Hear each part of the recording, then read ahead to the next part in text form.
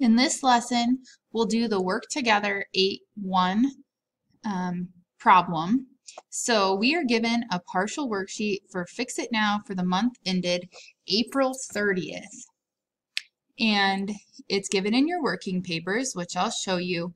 And we also have a journal and a general ledger. So we don't have all of the details in the general ledger, just the ending balances after adjusting entries. So let's go through the example to journalize and post closing entries. So here is our worksheet. And now we're going to use this information to go ahead and here's our general journal, post the closing entries. So if you remember, the four closing entries are listed in page 216 of your textbook. The first thing we'll do is go closing entries.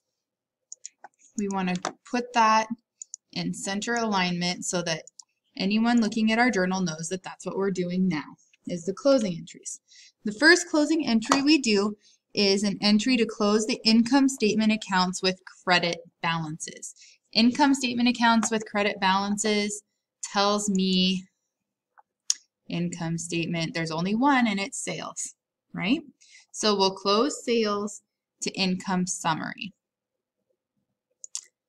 So our entry will look like this. It was um, April, right, 30th, and sales would be our debit because we need to debit it by the amount of the total balance, which was, we can just do an equals, we'll go back to our worksheet and click on that balance, 2,160. And then our credit will be indented over income summary. And it will be for the same amount because our debits must equal our credits. There's our first entry, um, journalized. So now we'll do another one. And our second entry is to close income statement accounts with debit balances. So first our debit will have to be to income summary and our credit will be to all of the accounts that are on the income statement with a debit balance, which is every expense, right? So we'll just go ahead and copy these expenses, Control C, and then we'll just come back to our journal. We'll paste them in. Uh, you know what? I don't like that. We will paste special, we'll just paste the values so that the formatting remains. Double click in because we need to indent each one of these.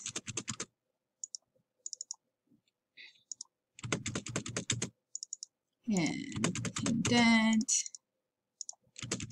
Imagine a much larger business, how many accounts there might be on this list. All right, so there they are. And the amounts for these expenses we'll need to get from our worksheet, and they are here. If I just Control C, copy them, and come over to this page, we know that they're going to be credited so that we zero out their balances, and we will paste special with values again. So it doesn't ruin my formatting. And then we'll know income summary must be equal to the sum of all of the expenses. So there is our second entry. Third closing entry is an entry to record net income or net loss and close income summary. Okay, so according to our worksheet, our net income was $677, right? So since it's a net income, income summary will be debited.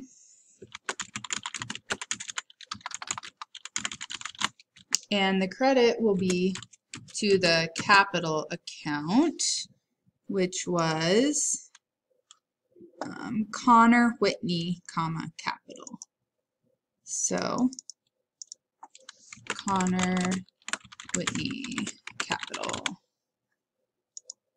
And that amount was, I think, 677, but I'll just do an equals and click on that cell. And then I can make sure that I don't copy it down wrong. And again, this was on the 30th. And one more closing entry. And that is to close the owner's drawing account. So it would be um, a, or a debit to the capital account and a credit because this drawing account is a debit balance. So we have to give it a credit to zero it out. And the amount of this will be the amount of drawing on here, 1700. There we go. There are four closing entries. So what did our instructions say to do next? We were supposed to journalize and post them. So now we need to post these closing entries that we just did onto our general ledger. So the first one is a debit to sales for 2,160 and page 8 of our journal. So 2,160 debit to sales. We'll go to our ledger. We'll find our sales account and a debit 2160 and it was on page 8 oops, this was 2160, and then here it would, by adding a debit, we would make this a zero, right? Yes. And this is um, on the 30th. So account number 410, we'll bring that, oop, one too many, back to our journal in the post reference 410. And now income summary gets 2,160 credit. So go back to our ledger, find income summary, and G8, and they get a credit of 2160, and that leaves us a balance of 2160. And account number 330, we'll bring it back to our journal. And again, we have to post all of these. Now we're doing uh, 1483 debit to income summary. So 1483 and then this will be equals 2160 minus 1483 because we had a credit balance. Subtract the debit off leaves us with 677. Again, this was still page G8 and still April, that didn't go over the last time. And this would still be the 30th. Only need to write them up once. Count 330, we'll go back and put it here. Advertising expense. So each one of these expenses should be zeroed out for their um, total balance. So we've got 460 for advertising expense. So we'll come over here and that will get a credit of 460 on the 30th and G8 and that will be a zero and that's account number 510. Now cash short and over $6 credit. So we'll come over here, cash short and over, credit of 6, and a balance of 0. G8 on the 30th, it's account 520. So we will write that in there so we know we've posted. Insurance expense, 125. Insurance expense, credit of 125 oh, balance of 0, G8, and the 30th, count 530. Miscellaneous expense, 189. So we'll come over here, 189 credit, G8, the 30th, and a zero balance. Now, account number 540 and supplies expense 153. So we'll come over to supplies expense 153 credit makes this a zero balance from journal page 8 on the 30th and account number 550.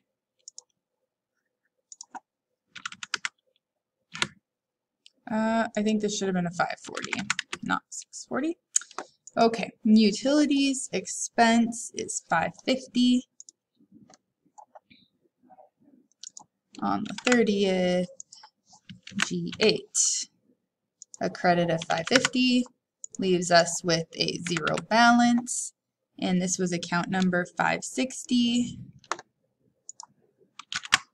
and it is posted. Now our third entry, we have income summary for 677 debit.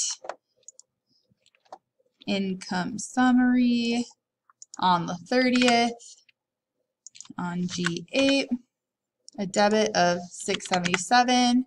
So we would subtract that off and you and I can both see that it's going to be zero now, which is exactly what it should be. We're closing out the income summary.